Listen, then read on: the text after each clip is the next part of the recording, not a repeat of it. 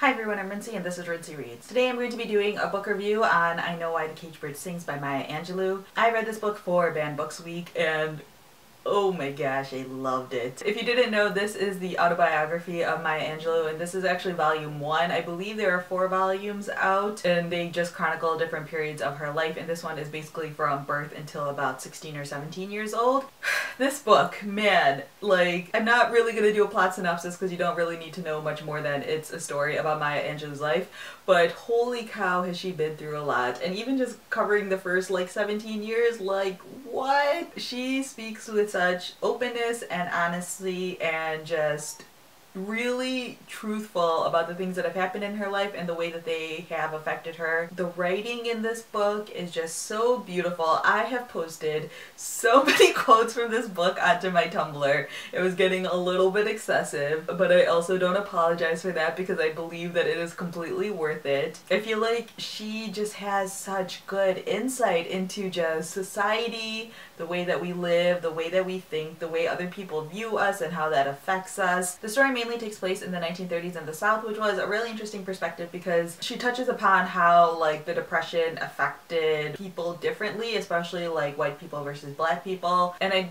feel like this is just such an interesting insight into the way of life and the way things were during this time. I really enjoyed reading this, especially since I had just finished reading Brown Girl Dreaming by Jacqueline Woodson and just having just that fuller perspective on being a person of color in the South during this time period. Although obviously Brown Girl Dreaming takes place like 20 or 30 years after this book takes place, but just having that fuller perspective and that fuller idea. I also just like the idea idea of just covering what people of color were doing during this time period. Like I feel like you hear about black people during the times of like slavery and then the Civil War happens and then it sort of just like stops being a topic until about the 1960s when the Civil Rights Movement takes place. Like that's how I feel like American history kind of is covered. And so there's this whole time period like at the end of the 1800s and at the beginning of the 1900s. You know, there's like a good like 100 years or 50 years that doesn't get covered really. And so I feel like this is a really good insight into that world and into that time period.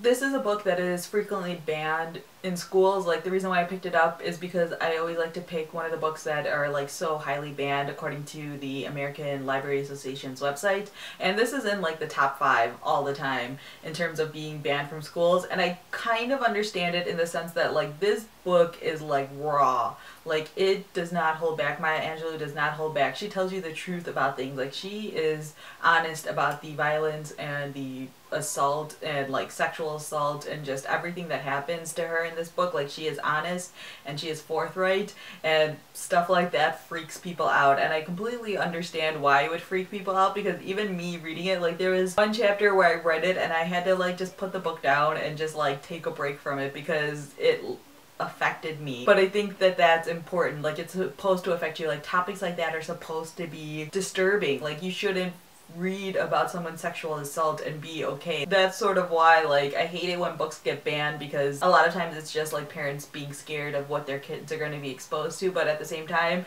I read this and I was like you know what if you're in high school you probably should read it and know exactly what it's like. You know it could help prevent people from doing this to someone else or it could help people deal with it if it has happened to them you know so I don't know. That's just my two cents. I'm not here to parent anyone's kids because I don't even have children, so who am I to say anything? But I will say this, if you haven't read anything by Maya Angelou, pick it up get something by her, start reading her. This is, again, like I said, the first of four. I will be continuing on because I want to know so much more about her life. Like, I know, like, bits and pieces about Maya Angelou's life because, you know, she's a famous writer and I've done research or read about her in the past, but I'm really excited to just see things from her point of view and just to see where her journey takes her. So yeah, those are my quick thoughts on I Know Why the Caged Bird Sings by Maya Angelou. If you read this book or if you read Maya Angelou's other books, feel free to leave a comment down below letting me know what you guys thought of it. Or if you have any questions about the book, obviously leave that down in the comment section as well. So yeah, that's all I have for now. Thanks for watching.